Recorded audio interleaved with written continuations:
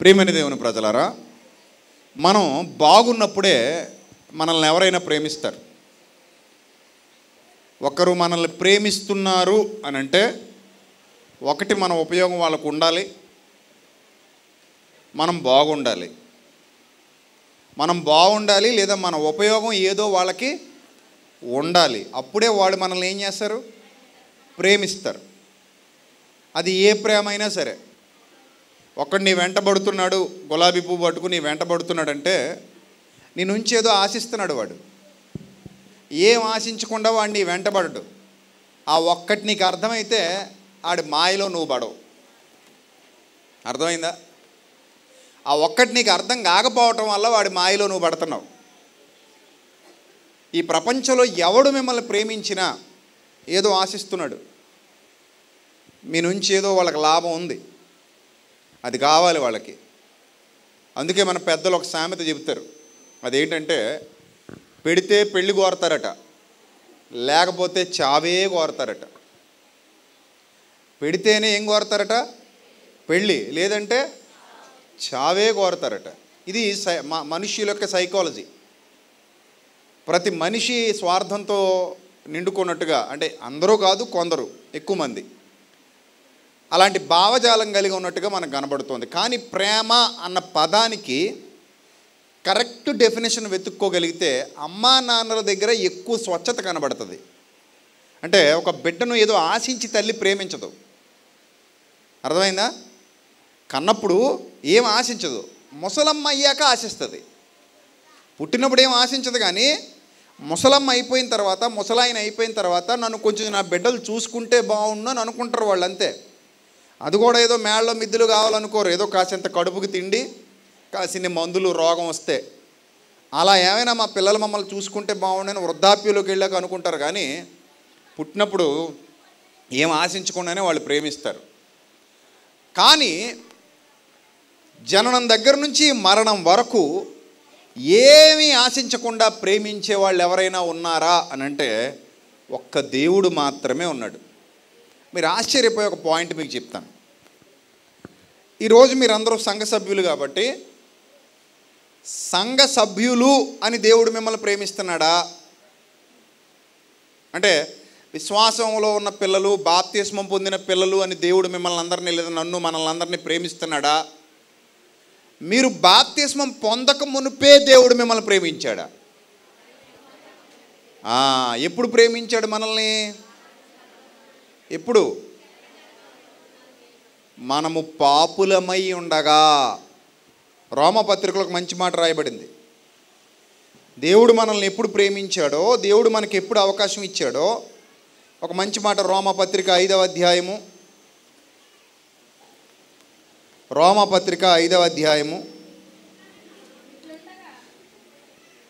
రోమపత్రిక ఐదవ అధ్యాయము. ఎనిమిదో వచ్చిన అయితే దేవుడు రోమపత్రిక ఐదవ అధ్యాయం ఎనిమిదో అందరూ అయితే దేవుడు. మన ఎడల తన ప్రేమను వెల్ల వెల్లడిపరుచుచున్నాడు. ఎట్లనగా మనం ఇంకను పాపులమై ఉండగా ఆ మాట అండర్లైన్ చేసుకోండి. దేవుడు మన ఎడల తన ప్రేమను వెల్లడిపరుస్తున్నాడు. ఎట్లనగా అంటే ఏ విధంగా ఆ, దేవుడు తన ప్రేమను మన ఎడల ఆ, మనం ఇంకను మనం ఇంకను పాపులమై ఉండగానే క్రీస్తు మన కొరకు క్రీస్తు మన కొరకు చనిపోయేను. ఈ మాట అండర్లైన్ చేసుకోండి. ఎప్పుడు క్రీస్తు నీ కోసం చచ్చిపోయాడు? నువ్వు విశ్వాసం అయ్యాకనా? నువ్వు సంఘానికి వచ్చాకనా? నువ్వు బాప్తిస్మం పొందాకనా? కాదు కాదమ్మా కాదు కాదయ్యా. ఈ క్రీస్తు మన కొరకు చనిపోయింది. మనం మారు మనసు పొందాక కాదు. మనం దేవుణ్ణి నమ్మాక కాదు. మన బ్రతుకు మార్చుకున్నాక కాదు. మనం రక్షణలోనికి వచ్చాక కాదు. మరి ఎప్పుడు మనల్ని ప్రేమించాడని గ్రంథం సెలవిస్తుంది? మనం ఇంకా మనం ఇంకా పాపులమై ఉండగానే అన్నాడు అక్కడ అప్పటికి నీ స్థితి ఎలా ఉందంటే మంచిగా లేదట యథార్థంగా లేదట. మరి ఎలా ఉంది? పాపిగా ఉండగా. అంటే ఇంకా లోతుగా మాట్లాడుతూ ఇంకా మనకి అర్థం ఇవ్వడానికి ఏమని మాట్లాడతాడంటే అక్కడ పదవచనం. ఎలా ఉండగా? ఇందాకేమో పాపులమై ఉండగా అని చదువుకున్నాం. ఇప్పుడు ఏమని చదువుకుంటున్నాం ఏమని? శత్రువులమై ఉండగా ఎవరికి శత్రువులు? ఏ విధంగా?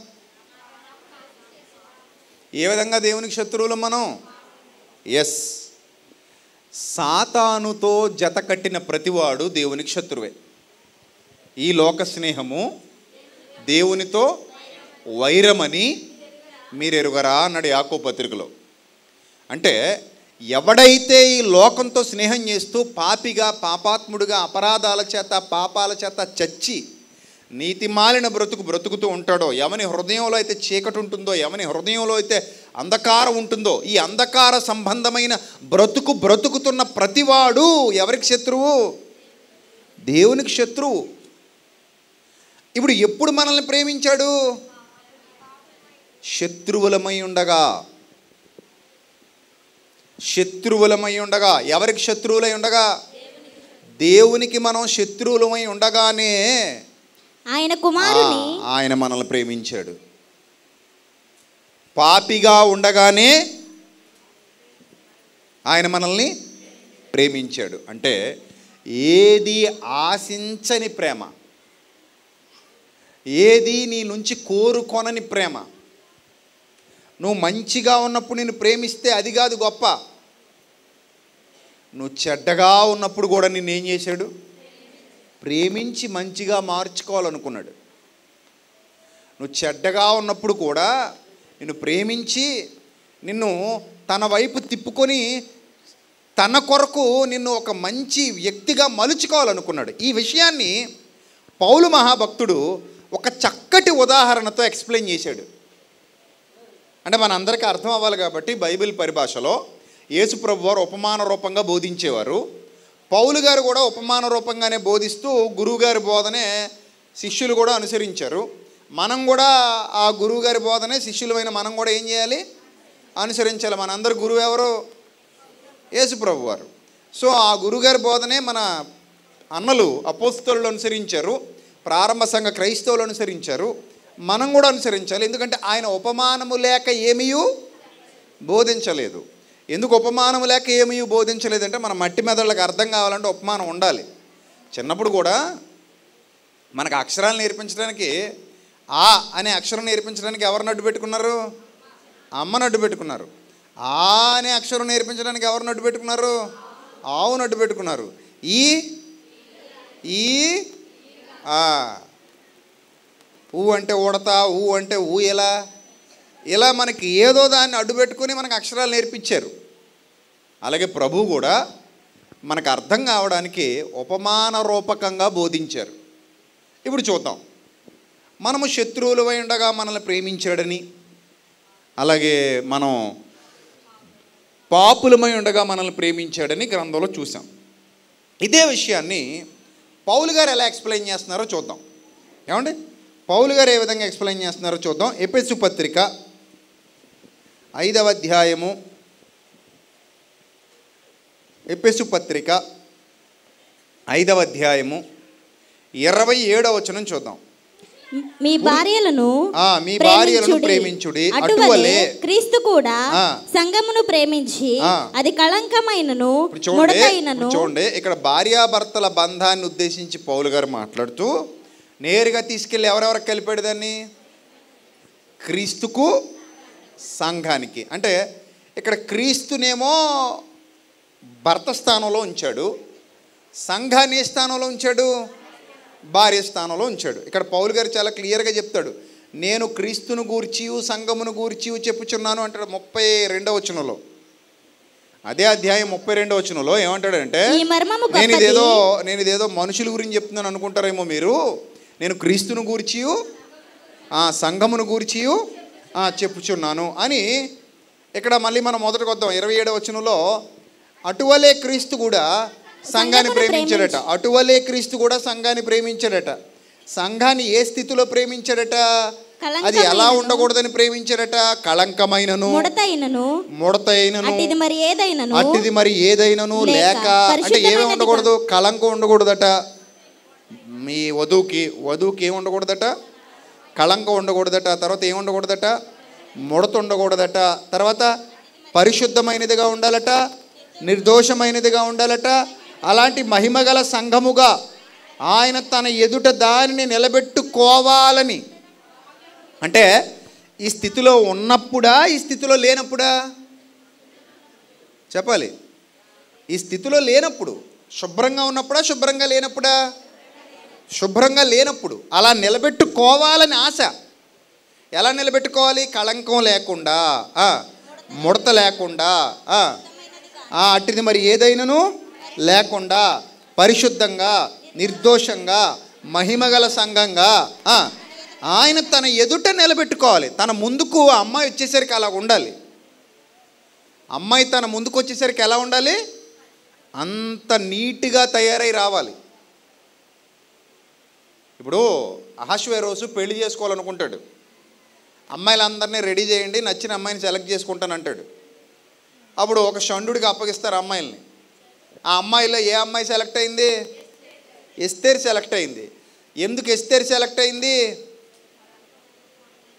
ఆమె అంత అందంగా తయారై వచ్చింది. ఆమె అలంకరణ అందరిలాంటి అలంకరణ కాదు. ఆమె అలంకరణ అందరిలాంటి అలంకరణ కానప్పుడు ఆమెను చూడగానే రాజుగారికి ఏం పుట్టిందట? దయ పుట్టిందట. దయ. కోరిక కాదు. ఏం పుట్టింది? దయ పుట్టి ఈ అమ్మాయినే పెళ్ళి చేసుకోవాలనుకున్నాడు.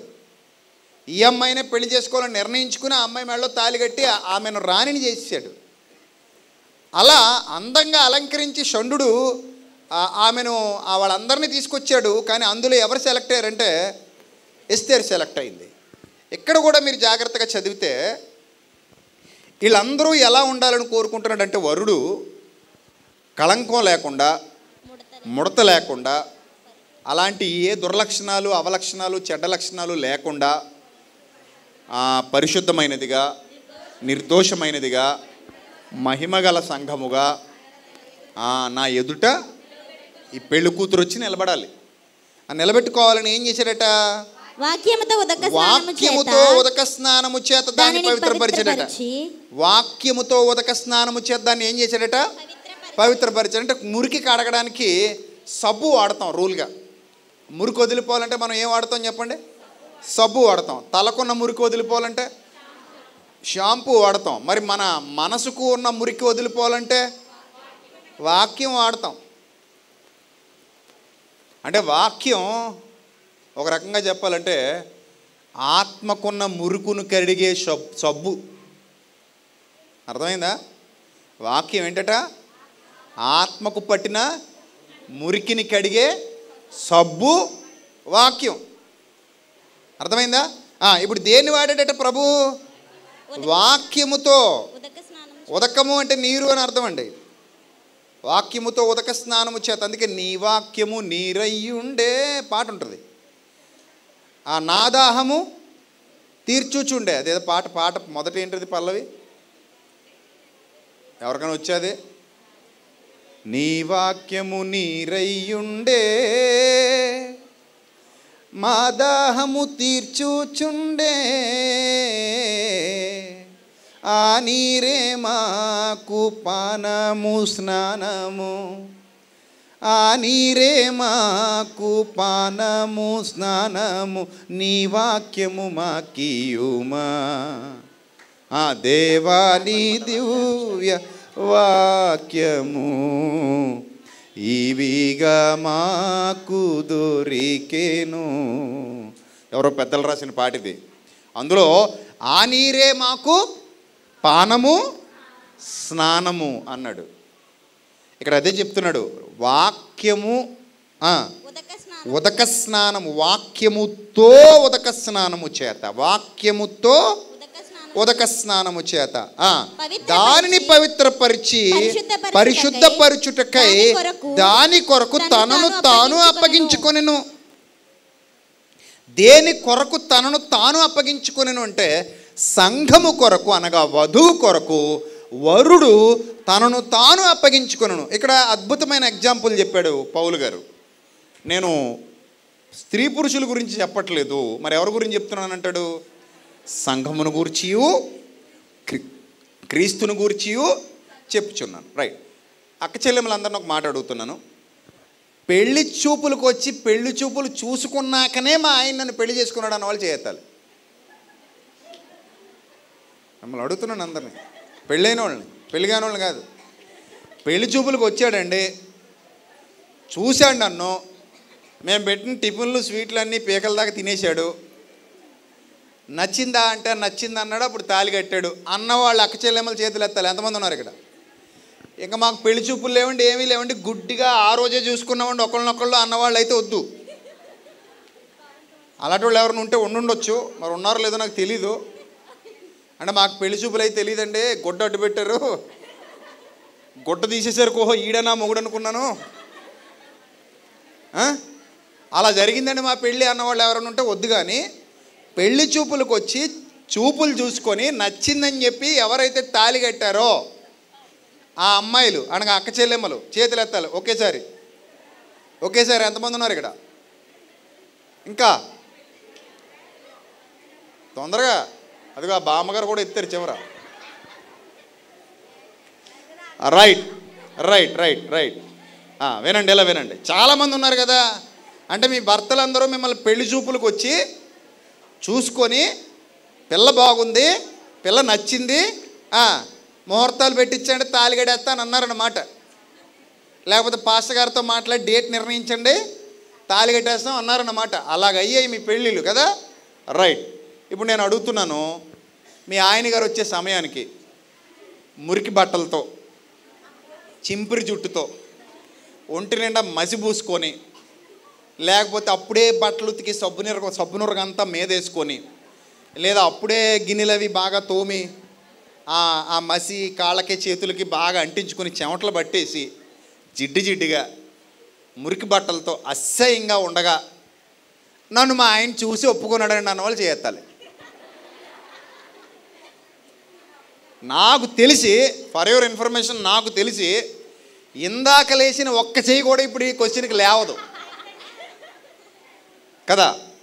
మరి ఎలా ఉండగా మీ ఆయన గారు ఒప్పుకున్నాడు మేము మీరు? ఆ? పక్కింటోళ్ళు నగలో ఈ పక్కింటోళ్ళు నగలో అరువు తెచ్చేసి మీ అమ్మ. ఈరోజు చూసుకోనకు వస్తున్నారు అక్క పిల్లని. ఆ నెక్లెస్ ఉంటే ఇస్తావా? ఆ చైన్ ఉంటే ఇస్తావా? ఆ చెవిలీలు ఉంటే ఇస్తావా? ఆ గొలుసు ఉంటే ఇస్తావా? లేకపోతే మీ ఇంట్లో ఉన్న మొన్న కొనుక్కున్న కొత్త చీర ఉంటే ఇస్తావా? ఆ కొత్త లంగా ఓని ఉంటే ఇస్తావా? అని మొత్తం మీద పక్కింటోళ్ళని ఎదిరింటోళ్ళని ఆన్లైన్లో అడిగేసి తెచ్చేసి సూర్యుడు చంద్రుడు నక్షత్రాలు మొత్తం సర్దేసి తల మీద. గ్రహాల ఖాళీ లేదనమాట అది అవి కూడా పెడతారు మనోళ్ళు. అన్ని రకాలు బాగా అలంకరించి పువ్వులేసి మంచి కొత్త బట్టలు వేసి ముఖానికి మేకప్ వేసి సబ్బంతా అరిగిపోయేలాగా రుద్దేసి తెల్లగా వచ్చేయాలి ముఖం. దానికి క్రీములు పూతలు పౌడర్లు అవి ఇవి ఒక అర మీటరు లేదా సెంటీమీటర్ ఎత్తు వచ్చేలాగా పేర్చి ముఖం మీద అప్పుడు తీసుకొచ్చి కూర్చోబెడతారు. అమ్మా పెళ్ళికూతురుని తీసుకురండి అంటారు. మెల్లిగా లోపల నుంచి టీలు పట్టుకునో పాలు పట్టుకునో లేకపోతే టిఫిన్లు పట్టుకునో వస్తుంది అమ్మాయి గారు మెరుపు తీగలాగా. ఆ వచ్చి కూర్చున్న తర్వాత అప్పుడు ఎరా ఆ పక్కన ఎవడో ఉంటాడు బ్రోకరు. అదే పెద్ద మనిషి. ఎరా అమ్మాయి వచ్చింది చూసుకో మరి అంటాడు. ఈడు ఆల్రెడీ అప్పటికే చూసేస్తాడు ఇప్పుడు చూసుకోమనక్కర్లా. "ఆ, అప్పుడు చూసి ఏటి మరి అంటాడు. ఇలా అంటాడు గంగిరెద్దులాగా. సరే అయితే ఇంకా లగ్గాలు పడేసుకుందామండి ఇంకా బేరసారాలు మాడేసుకుందాం. పిల్లోడికి పిల్ల నచ్చేసిందట. ఆ పిల్లకు కూడా పిల్లోడు నచ్చారట "ఆ, ఇంకేం చేద్దాం మరి? కట్టేద్దాం కట్టబెట్టేద్దాం. ఇప్పుడు నా పాయింట్ ఏంటంటే నువ్వు అందంగా ఉన్నందుకు మీ ఆయన ఇష్టపడ్డాడు నిన్ను. నువ్వు నీట్గా రెడీ అయినందుకు మీ ఆయన ఇష్టపడ్డాడు నిన్ను. అంటే నువ్వు అప్పుడు న్యాచురల్గా లేవు. అంటే నార్మల్గా ఎప్పుడు ఉండేలాగా లేవు. మరి ఎలా ఉన్నావు? డిఫరెంట్గా కనబడుతున్నావు డిఫరెంట్గా కనబడుతున్నావు. నువ్వు బాగున్నావు కాబట్టి ఒప్పుకున్నాడు. నువ్వు అందంగా అలంకరించబడి ఉన్నావు కాబట్టి ఒప్పుకున్నాడు. ఒకవేళ నువ్వు అందంగా అలంకరించబడి లేకుండా మురికి మురికిగా ఉంటే ఒప్పుకుంటాడా? చెప్పాలి. ఇంకొంచెం గట్టిగా చెప్పండి. మీ ఆయనలు ఇక్కడే ఉన్నట్టున్నారు మరి ఎనరా ఫీల్ ఎవరో ఇంటే? ఇంటికి వెళ్ళి గొడవ పెడతారే మరి? పర్లేదా? ఏమయ్యా? ఒప్పుకోరట మీరు? అప్పుడు వాళ్ళు ఏమంటారంటే ఆ వాళ్ళు ఒప్పుకోరండి. వెళ్ళినప్పుడు మేము మురికి మురికి ఏమీ వెళ్ళలేదు. మేము రెడీ అయ్యి వెళ్ళామండి. పక్కింటోడు వాచి అతికి అడిగి ఎదిరింటోడు ప్యాంట్ తీసుకొని చొక్కా తీసుకొని నీట్గా మేము కూడా సబ్బు అరిగేలా తోమి తల బాగా దువ్వి షాప్కి వెళ్ళి కటింగ్ అది వేయించుకుని క్రీములు అవి పూయించుకుని మేము వెళ్ళామండి అంటారే వీళ్ళు. మొత్తం మీద వాళ్ళ మిమ్మల్ని చూడడానికి వచ్చినా మీరు వాళ్ళని చూడడానికి వచ్చినా ఎలా వచ్చినా మేకప్లు వేసుకొని అందంగా అలంకరించుకొని నీట్గా రెడీ అయ్యి అప్పుడు వెళ్ళి యాక్సెప్ట్ చేశారు. కానీ ఇక్కడ పౌలు గారు ఏం చెప్తున్నాడంటే విచిత్రమైన విషయం. ఎక్కడా జరగని వింత ఒకటి జరిగిందట. ఆ వింత ఏంటంటే పెళ్ళి కొడుకే పెళ్ళి కూతుర్ని రెడీ చేయడానికి సిద్ధపడ్డాడట. ఎవరు? పెళ్ళి కొడుకే ఎవరిని రెడీ చేస్తున్నాడు? పెళ్ళి కూతుర్ని రెడీ చేస్తున్నాడు. పెళ్ళి కూతురు రెడీ అయి వస్తే పెళ్ళి కొడుకు అంగీకరించడం కాదు. పెళ్ళి కొడుకు చూసే సమయానికి పెళ్ళి కూతురు ఎలాగుందంటే కళంకంతో ఉంది. నెక్స్ట్ ముడతలతో ఉంది. అట్టివి ఎన్నో ఉన్నాయి. మీరు బాగా అర్థం చేసుకోవాలి. అందుకే వివరంగా ప్రతి పాయింట్ నొక్కి నొక్కి చెప్తాను. అట్టిది మరి ఏదైనానో లేక కాదు. ఈ పాయింట్లో అట్టివి ఎన్నో ఉన్నాయి. కళంకం ఉంది ముడతుంది అట్టివి మరెన్నో ఉన్నాయి. నెక్స్ట్ అపరిశుద్ధంగా ఉంది నిర్దోషమైన దోషభరితమైనదిగా ఉంది మహిమ లేనిదిగా ఉంది మహిమను పోగొట్టుకునిదిగా ఉంది అందరూ పాపము చేసి దేవుడు అనుగ్రహించు మహిమను? అంటే ఎలా ఉంది ఇప్పుడు మహిమ గలదిగా ఉందా? మహిమ లేనిదిగా ఉంది? అంతేనా? అయిపోయా ఎక్కడితో అదే అలా నిలబడి ఉందా అప్పటికి? నిలబెట్టుకోవాలని. అంటే దాని అర్థం ఏంటి? ఇల్లు కట్టుకోవాలనుకుంటున్నామండి. అంటే కట్టేశారనా? కట్టుకోవాలనా? అదనమాట బట్టలు కొనాలని. అంటే? ఇంకా? కొనలేదని. అన్నం తినాలని. అంటే ఇంకా తినలేదని. ఇప్పుడు ఆ వచనంలో నిలబెట్టుకోవాలని. మహిమగల సంఘముగా తన ఎదుట నిలబెట్టుకోవాలని. అంటే దాని అర్థం ఏంటి? నిలబడేశారనా? నిలబడి ఉన్నారనా? ఇంకా లేదు. తాను మనల్ని ప్రేమించే సమయానికి మనం శుభ్రంగా లేవు మనం అందంగా లేవు మనం అలంకరింపబడి లేవు మనం మురికి మురికిగా ఉన్నాం. బురద బురద బురదగా ఉన్నాం. ఒంటి నిండా పేడ పూసుకుని వచ్చింది అనుకోండి పెళ్ళి కూతురు ఏ పెళ్ళి కొడుకు యాక్సెప్ట్ చేయడు. పచ్చి నిజం ఇది. ఒంటి నిండా బురద పూసుకుని వచ్చింది అనుకోండి చిన్న పంది పిల్లని ఒంట్లు చంకలు పెట్టుకుని సరదాగా నవ్వుకుంటున్నాం. ఈడు బురదలో దొరలి దాంతోపాటు చిన్న పంది పిల్లని సంకలో పెట్టుకుని పెళ్ళి కూతురు నడుచుకుంటూ లోపలికి వచ్చింది అనుకోండి ఆహా పిల్ల నచ్చిందంటాడా? బాబాయ్ మీకు తను నీకు దొడ్డిదారిని బారిపోతాడు మళ్ళీ కనబడ్డ చూద్దామంటే అంటే అందంగా లేని ఏ ఒక్కరిని వరుడు ఏం చేయడు? ఏం చేయడు? ఇష్టపడ్డు ప్రేమించడు. అందుకే చూడండి పెళ్ళి సంబంధాలకు తిరిగే వాళ్ళు అందరూ దేని గురించి మాడతారు? First priority. అందాల గురించే మాడతారు ఏ అందాలు మాడతారు ఈ అందాలు మాడతారు మరి ఈ అందం వద్దా? ఈ అందం వద్దా? ఈ అందాలు ఏం వద్దు మనకి? మనకి ఏ అందాలు కావాలి? ఈ అందాలు మాత్రమే కావాలి. ఈ అందాలు చూసి పెళ్ళి చేసుకునే ఇప్పుడు కుయ్యో మొర్రో అంటున్నారు చాలామంది. ఏం చేయాలో అర్థం కాక. కొంతమందికి అందం ఉంటుంది. కానీ ఏ అందం ఉండదు? ఈ అందం ఉండదు. ఈ అందం ఉండదు. ఇది మాత్రం బాగుంటుంది. అందుకే చెప్పేటప్పుడు ఏమని చెప్తారు మన వాళ్ళు? సోది కబుర్లు. ఆరు అడుగులు అందగాడండి. ఆజానుబాహుడండి. ఎవడికి కావాలా దిక్కుమాలిన ఆజానుబాహత్వం? ఆడ పీకల దాకా తాగి ఇంటికి వచ్చి నిన్ను నాలుగు పీకుతుంటే అందుకు ఉపయోగపడద్ది. ఆ ఆజానుబాహుడు. అంటే బాగా గుద్దుతాడండి అని ఒంగోబెట్టి. చెత్తక్కోటి చెవులు మూసేస్తాడు. ఒంటి నిండా దెబ్బలతో ఉంటుంది. ఇప్పుడు మీ అమ్మాయి కట్లేయించుకోవడమే హాస్పిటల్కి తీసుకెళ్ళి అందుకని ఆజానుబాహుడా రోజు తాగొచ్చి తంతాడు కాబట్టి ఆజానుబాహుడా ఎందుకండి ఆజానుబాహత్వం నాకు అర్థం కాదు. ఆరు అడుగులు అందగాడండి. ఎవడికి కావాలి ఆరు అడుగులు ఏమైనా కోసుకుని కూర వండుకుని తింటావా? కాళ్ళ దగ్గర నుంచి తలదాకా. పొట్టోళ్ళు పనికిరారేమో. అంతేనండి మరి? ఆరు అడుగులు అందగాడు. బోలెడంత ఆస్తి. ఒక్కోసారి ఆస్తి ఉన్నా కూడా ఏమనిపిస్తుంది? ఛీ ఈ ఆస్తి ఎవడకు కావాలని చచ్చిపోతున్న వాళ్ళు ఎంతోమంది ఉన్నారు. ఆ మొగుడు పెట్టే టార్చర్ భరించలేక. అప్పుడు ఆస్తులు పనికిరావు. ఏమండి? మనసుకు శాంతి లేనప్పుడు ఆస్తి ఉండి ప్రయోజనం ఏముందండి? మనసుకు సుఖం లేనప్పుడు ఆస్తి ఉండి ఉపయోగం ఏముంది? ఉందా? లేదు. అప్పుడు ఆస్తులు ఉండవు అంతస్తులు కనబడవు చదువులు కనబడవు కట్నాలు కనబడవు వెండి కనబడదు బంగారం కనబడదు. జీవితం బాగోకపోతే కుడితిలో పడ్డ ఎలకలాగా కొట్టుకుంటే అది వేడివేడి కుడుతులో వేడివేడి గంజిలో పడ్డ ఎలకలాగా కొట్టుకుంటున్నప్పుడు చుంచిలాగా కొట్టుకుంటున్నప్పుడు అప్పుడు అనిపిస్తుంది చీ ఇది ఓ బతుకేనా అనిపిస్తుంది. అప్పుడు అందం పనికిరాదు. అలాగే కొంతమంది గయ్యాలి భార్యలు ఉంటారు. గయ్యాళ్ళు అంటే ఇంకా వాళ్ళు ఎజిబేల్ టైప్ అనమాట ఇంకా అలాంటి యజ్బేల్ని పెళ్ళి చేసుకున్నోడికి అసలు ఆడికి జీవితంలో సుఖం ఉండదు శాంతి ఉండదు పరిశుద్ధ పరిశుద్ధంగా బతకడం ఉండదు ఆనందం ఉండదు సంతోషం ఉండదు. అందుకే సొలుమోన్ అంటాడు గయ్యాళితో పెద్దింట్లో కాపురం ఉండడం కంటేనట. మిద్ది మీద పిడకలు కూడా ఎక్కేసి అక్కడ మూలకెళ్ళిపోయి ఎండాకాలంలో పడుకున్న ప్రాబ్లం లేదట ఆడికి.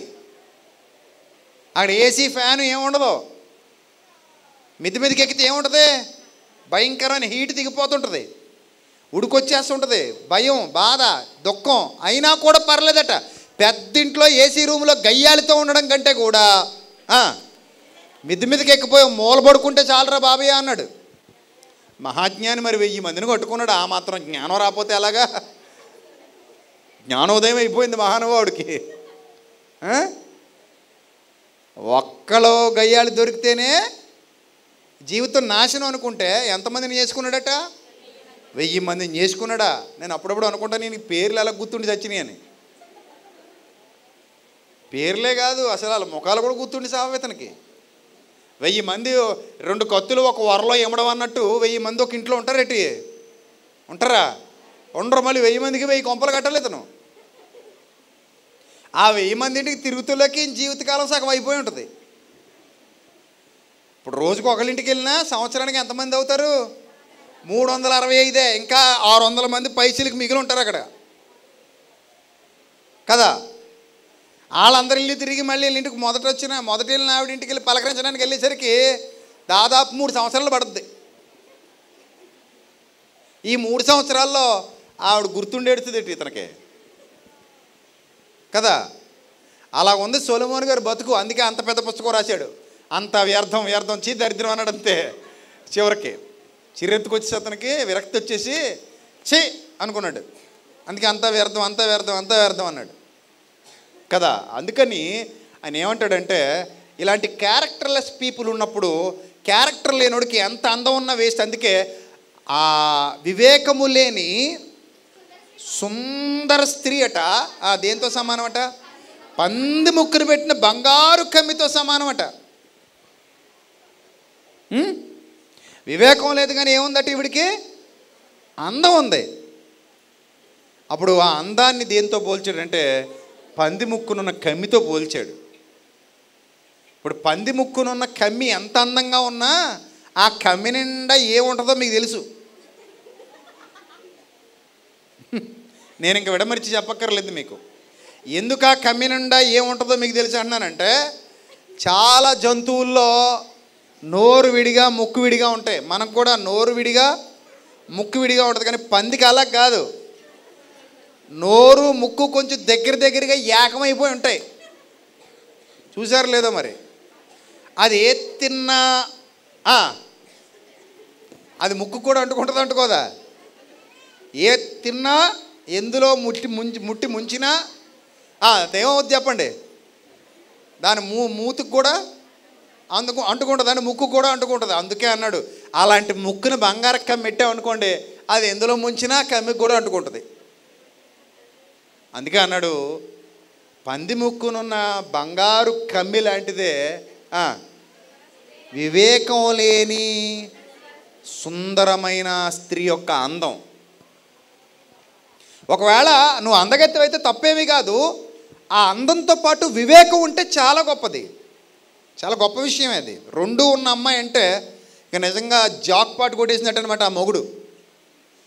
గుణవతి ఏగు భార్య దొరుకుట అరుదు అట్టిది ముత్యము కంటే అమూల్యమైనది. అలాగే అది మగాళ్ళకు కూడా వర్తిస్తుంది. గుణవంతుడగు మొగుడు దొరుకుట.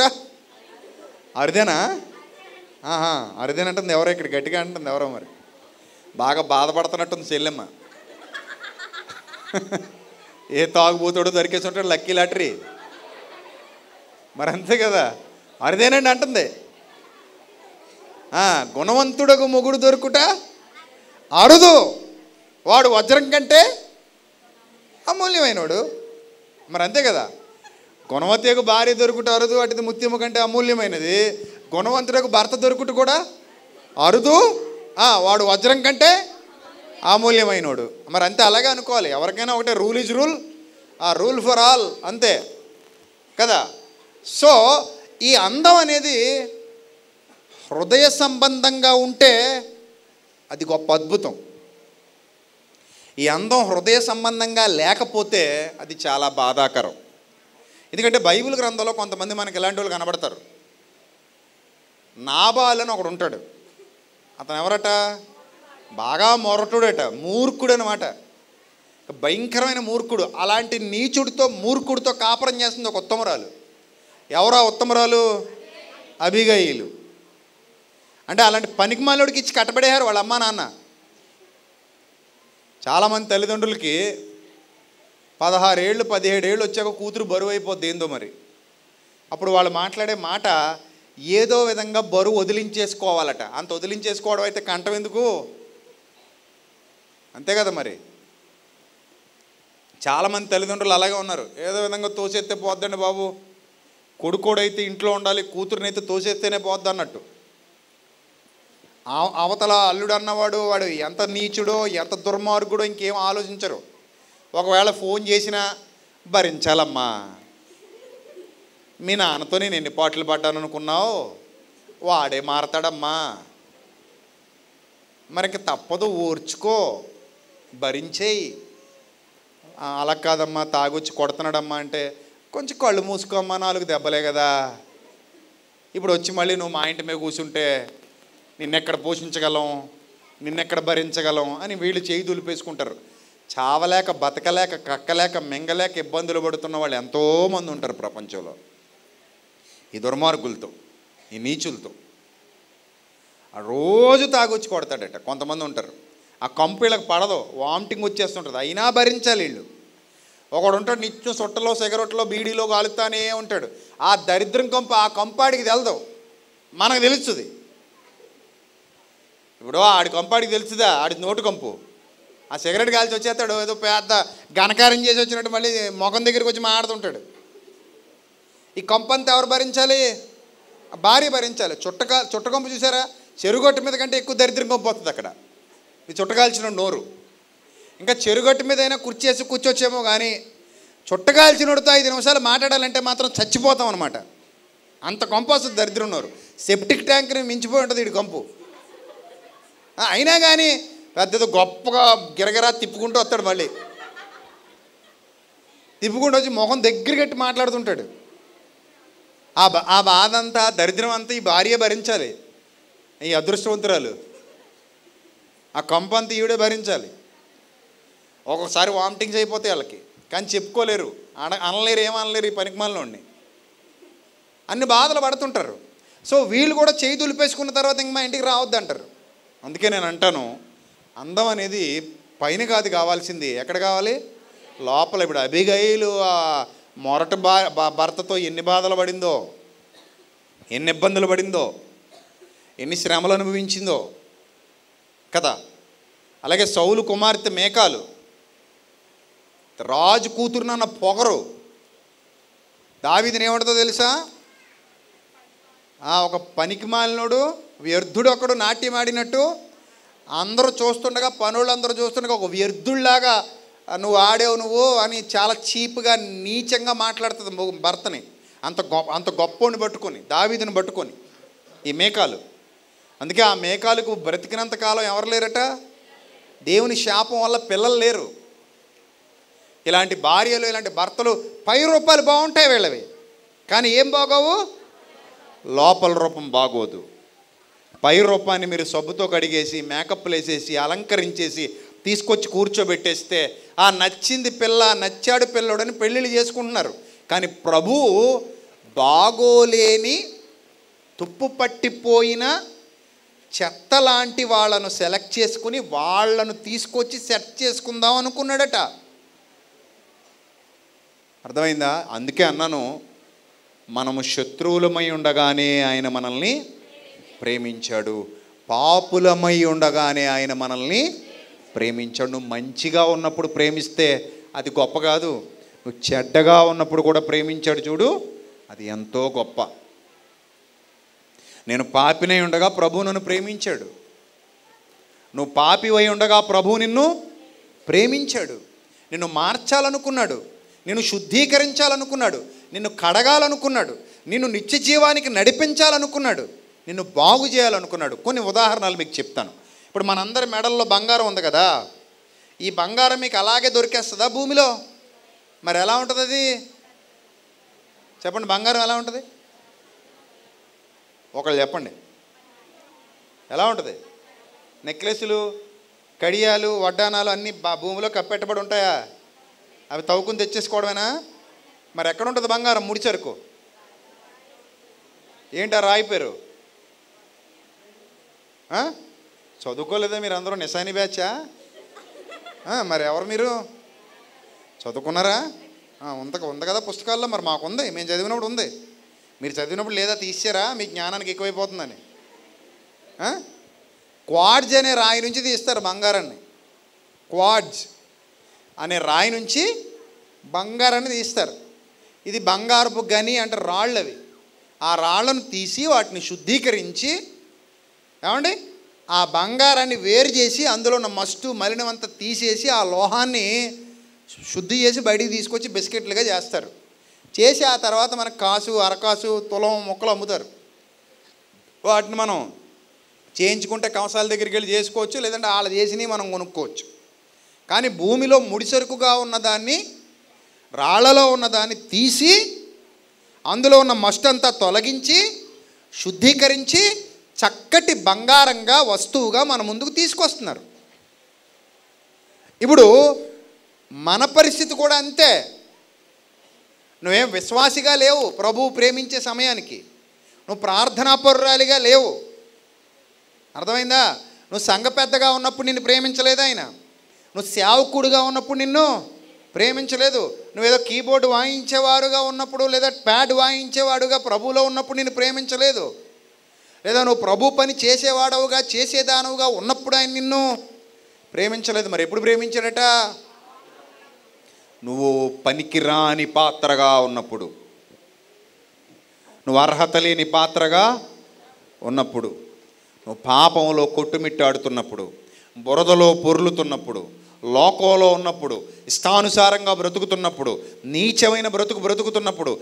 చెడ్డ బ్రతుకు బ్రతుకుతున్నప్పుడు. పనికి మాలిన బ్రతుకు బ్రతుకుతున్నప్పుడు. అంధకారంలో అపరాధాలలో పాపాలలో మోసాలలో నీచమైన హృదయంతో నీచమైన ఆలోచనలతో నీచమైన భావజాలంతో సాతానుకు చోటిచ్చి చెడ్డగా బ్రతుకుతున్న తరుణంలో అప్పుడు నిన్ను ఇష్టపడ్డాడు. అప్పుడు నిన్ను ఇష్టపడ్డాడు.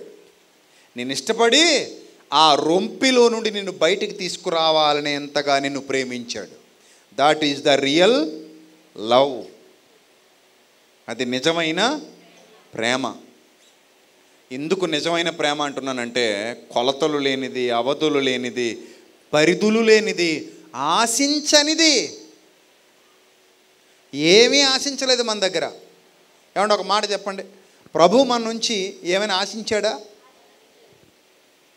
ఏం ఆశించలేదు. రక్షణ ఉచితంగా అనుగ్రహించాడు. రక్షణ ఎలా అనుగ్రహించాడు? ఉచితం. మీరు ఉచితముగా పొందితిరి ఉచితముగా ఇయుడి మీరు ఉచితమే మీకు ఉచితంగా ఇచ్చాడు రక్షణ. మనల్ని డబ్బులు పెట్టి కొనుక్కోమని లేదండి రక్షణ. కొనుక్కోమంటే మనం కొనుక్కోగలమా? అందుకే రక్షణను గురించి ఏమన్నా తెలుసు? అమూల్యమైనదట. రక్షణ ఎలాంటిది? అమూల్యమైనది అంటే దానికి వెల నిర్ణయించడం మన వల్ల కాదని. దానికి రేటు నిర్ణయించడం మన వల్ల కాదు. అమూల్యమైనది అంటే వెల కట్టలేనిది. అలాంటి రక్షణ నీకు నాకు ప్రభు ఉచితంగా అనుగ్రహించి మనల్ని మనల్ని తానే మొదట మనలను ప్రేమించెను. మనము ప్రేమించితిమని కాదు. యోహాను పత్రికలో చెప్తాడు మనము మొదట ఆయనను ప్రేమించలేదు. ఆ తానే మొదట మనలను ప్రేమించను. తానే మొదట ప్రేమించినట్టు యోహాను భక్తుడు రాస్తున్నాడు. చాలా స్పష్టంగా రాశాడు యోహాను భక్తుడు. మొదట మనలను ప్రేమించినది తానే. మొదట మనలను కోరుకున్నది తానే. మొదట మనలను నిర్ణయించుకున్నది తానే. మనలను అంగీకరించింది తానే. తానే మొదట మనలను ప్రేమించాను. మనము ప్రేమించితిమని కాదు. మనమేదో గొప్ప చేసితిమని కాదు. మనమేదో ఉద్ధరించామని కాదు. మనం అడిగామని ప్రాణం పెట్టాడా? చెప్పండి. చెప్పండి మీరు చెప్పండి. మనం అడిగామని ప్రాణం పెట్టాడా? ప్రభు లేదు. తానే మనల్ని ప్రేమించి మన పాపములకు ప్రాయశ్చిత్తము చేయుటకు ఇందులో ఏముందట? ప్రేమ ఉంది. యోహాన్ యోహాన్ గారు రాసిన మొదటి పత్రిక. నాలుగవ అధ్యాయం అందరూ చదవండి. యోహాన్ గారు రాసిన మొదటి పత్రిక నాలుగవ అధ్యాయము. నాలుగవ అధ్యాయము. తొమ్మిదవ వచనం. ఎనిమిది నుంచి చదువుదాం. దేవుడు ప్రేమాస్వరూపి దేవుడు ఏ స్వరూపి? ప్రేమాస్వరూపి ప్రేమ స్వరూపి? ప్రేమ లేనివాడు ప్రేమ లేనివాడు దేవుని ఎరుగడు? మనము ఆయన ద్వారా మనం ఆయన ద్వారా జీవించినట్లు. దేవుడు తన అద్వితీయ కుమారుని లోకములోనికి పంపెను. దీని వలన దేవుడు మన ఎందుంచిన ప్రేమ ప్రత్యక్షపరచబడెను. మనము దేవుని ప్రేమించదమని కాదు. పదవచనం అందరూ చదవండి. మనము దేవుణ్ణి ప్రేమించామని కాదు. తానే మనలను ప్రేమించి మనము దేవుణ్ణి ప్రేమించామని కాదు. తానే మనలను ప్రేమించి అన్నాడు. ఎంత మంచి మాట చూడండి. తానే మనలను ప్రేమించి మన పాపములకు ప్రాయశ్చిత్తమై ఉండుటకు తన కుమారుని పంపెను. ఇందులో ఇందులో ఏమున్నది? ప్రేమున్నది. ప్రేమ ఉంది ప్రియమైన దేవుని సంగమా. ప్రేమతో నిన్ను నన్ను కడగాలనుకున్నాడు. ప్రేమతో నిన్ను నన్ను శుద్ధీకరించాలనుకున్నాడు. అందుకే వాక్యం అనే సబ్బు ఉదకం. ఉదక స్నానము ఉదక స్నానము. అంటే పెళ్ళి కూతుర్ని తానే రెడీ చేసుకుంటున్నాడట. ఎక్కడైనా దొరుకుతాడు ఇలాంటి పెళ్ళి కొడుకు? దొరుకుతాడా? దొరకడు. మీరు బొగ్గు రాసుకు తిరగండి మొఖం నిండా మీ వెనకాల ఒక్కడు గులాబీ పువ్వు పట్టుకు తిరగడు చెల్లెమ్మలారా. మీరు అందంగా రెడీ అయ్యి తిరుగుతున్నారు కాబట్టి కుక్కల్లా మేము వెంటబడుతున్నారు మీరు వాళ్ళని నమ్మేస్తున్నారు మోసపోతున్నారు. ఈ రోజుల్లో ప్రేమలంటే ఏంటి చెప్పండి? ఈ రోజుల్లో ప్రేమలు నిజాలా? వీళ్ళ వయసులు చూస్తే ఆరేడు ఆరో తరగతి ఏడో తరగతి ఎనిమిదో తరగతి వీళ్ళ వయసులు. అప్పుడే వీళ్ళకి ప్రేమికులట మరి ఎక్కడి నుంచి తగలడ్డారు వాళ్ళు? మొన్న పదో తరగతి అమ్మాయి పదహారేళ్ళ వయసు ఆరో నెల కడుపుతో ఇంటి దగ్గర ఉంటే వాళ్ళ అమ్మ గుర్తుపట్టిందట ఆరో నెల కడుపు అని పదో తరగతి. ఇంక పెళ్ళి అవుతుందా ఆ కడుపులో ఉన్న బిడ్డను ఏం చేశారంటే బంధువులకి అది తెలియకుండా జాగ్రత్తగా ఇంట్లో పెట్టి తొమ్మిది నెలల్లో మోయించి ఆ తొమ్మిదో నెలలో బిడ్డను కనేసిన తర్వాత సీక్రెట్గా ఎవరికి తెలియకుండా బిడ్డను తీసుకెళ్ళి ఎక్కడో వదిలేసి ఎవరికో ఇచ్చేసి వచ్చారు. అంతకంటే దరిద్రం ఉంటుంది. ఆ పిల్ల ఏం పాపం చేసింది? ఇప్పుడు అక్కడ ఎలా బతుకుద్దా అమ్మాయి? అమ్మ ఉండదు నాన్న ఉండడు ఎవరికి పుట్టిందో తెలియదు అనాథ బతుకు. ఆ పెంచుకునే వాళ్ళు సక్రమంగా పెంచుతారో లేకపోతే ఎవరికైనా అమ్మేస్తారో తెలీదు. ఇంత దారుణాతి దారుణమైన పరిస్థితి రావడానికి కారణం వీళ్ళ మనసులో చిన్న వయస్సులోనే పుట్టేసినటువంటి ప్రేమ అది. ఆకర్షణ అది. ఆకర్షణ. ఇప్పుడు అరటిగేల ఉంటుందండి. అరటిగేల. ఎప్పుడు కొయ్యాలండి దాన్ని? ఎప్పుడు? ఎప్పుడు కొయ్యాలి? అది ఎప్పుడు తయారైందని తెలుస్తుంది మనకి? ఆ రైతుకు తెలుస్తుంది. అరటి అరటి గెలలు పండించే రైతుకి తెలుస్తుంది. ఇది టైం వచ్చింది గెల ఏం చేయాలి? కొయ్యాలి. అలాగే మీ నాన్నకి అమ్మకి తెలుస్తుంది నీకు పెళ్ళి ఎప్పుడు చేయాలో. లేదా నీకు తెలుస్తుంది ఎప్పుడు చేసుకోవాలో. నీ కాళ్ళ మీద నువ్వు నిలబడినప్పుడు. నువ్వు పక్వానికి వచ్చినప్పుడు అనగా నువ్వు ఒక స్థితికి మంచి స్థితికి వచ్చినప్పుడు అంటే నీ చదువు అంతా పూర్తయి. పెట్టుబడి పెట్టే నాన్నన్నాడు అన్నం పెట్టే అమ్మ ఉంది. చదువుకోమని స్కూల్కి పంపిస్తున్నారు. నీ చదువు అంతా పూర్తయిన తర్వాత నీ కాళ్ళ మీద నువ్వు నిలబడి నీ బొవ్వ నువ్వు తెచ్చుకోగలిగే పరిస్థితి వచ్చిన తర్వాత అర్థమవుతుందా? చెల్లెమ్మలందరూ జాగ్రత్తగా వినాలి. మీ కూడు మీరు తెచ్చుకు తినగలిగే స్థాయికి మీరు ఎదగాలి ముందు. ఇది వరకటి రోజులు కాదు. ఆడపిల్లలు కూడా బాగా చదువుకోవాలి మంచి ఉద్యోగాలు సంపాదించుకోవాలి. ఎందుకంటే రేపు పొద్దున మీ మొగుడోడు తాగుబోతాడు కావచ్చు. శాడిస్ట్ గడి కావచ్చు. మీ మీ మీకు పిల్లల్ని కనేసేసి మీ పిల్లల్ని మీకు పోషించని నీచుడు కావచ్చు. రూపాయి కూడా ఇంటికి తేని దౌర్భాగ్యుడు కావచ్చు. మరి అలాంటి మొగుడు దొరికితే ఏం చేయగలవు నువ్వు? చెప్పు. పెళ్ళిగాని అమ్మాయిలు చేతులు ఎత్తండి. చదువుకుంటున్న వాళ్ళు చదువుకుంటున్న వాళ్ళు పెళ్ళిగాని అమ్మాయిలు చేతులు ఎత్తండి నన్ను ఎత్తండి తప్పే ఉంది. అలాంటి మొగుడు మీకు దొరికితే ఏం చేస్తారు అప్పుడు? అడుగు తింటారా? బస్ స్టాండ్లోకి వెళ్ళి. బాబయ్య పది రూపాయలు ధర్మం చేయండి బాబయ్య అంటారా? మరి ఏమంటారు అందుకే చెప్తున్నా. ఇదే ప్రశ్న వాడిని అడిగాం అనుకోండి. అరే బాబు నీకు మంచి పళ్ళం దొరకలేదంటే ఏం చేస్తావు అంటాడు. ఏమంటాడు? హోటల్కి వెళ్తా. ఆవిడే వండాలా? ఎక్కడికి వెళ్ళి కొనుక్కుంటా? హోటల్కి వెళ్ళి కొనుక్కుంటా. నేను సంపాదిస్తున్నాను కదా పని మనిషిని పెట్టుకుంటా అంటాడు. అంటాడా అండ? అప్పుడు మీరు కూడా ఏం చెప్పాలో తెలుసా?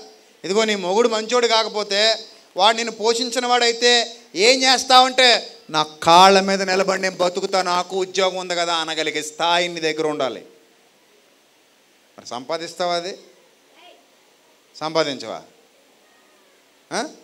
ఇప్పుడు మీ అమ్మా నాన్న నీ చదివిస్తున్నారంటే ఆ చదువు ఊరికి వృధాగా పోవాలన్నా ఎందుకో కొంత ఉపయోగపడాలి అది? ఏదో విధంగా ఉపయోగపడాలా?